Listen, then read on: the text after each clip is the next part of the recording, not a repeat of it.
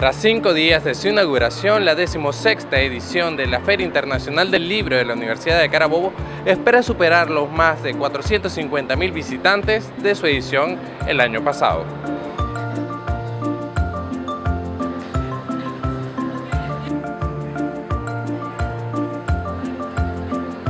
Eh, pero sí sabemos que las expectativas fueron superadas.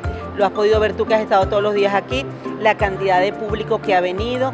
Lo sabemos también porque nuestros expositores están muy contentos y eso indica que también las ventas han sido buenas, que por supuesto es un aspecto clave también dentro de lo que implica una feria. Ganamos todos.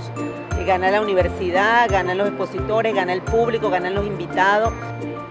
Este año, el país anfitrión es la República del Perú. Su tradición literaria ha ligado a la humanidad grandes autores como Inca Garcilaso de la Vega, César Vallejo y el premio Nobel Mario Vargas Llosa. Aún se desconoce quién será el país anfitrión de la próxima edición, pero trascendió que 2017 se estima que la Embajada de Francia sea el país invitado. Francia es un país aliado muy importante que, sí está planificando ser el país, pero no del año que viene. Ellos son muy sistemáticos y organizados y ya ellos se están planteando el año 2017.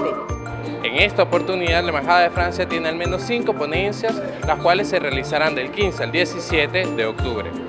Para el carabobeño reportó Christopher Borrero.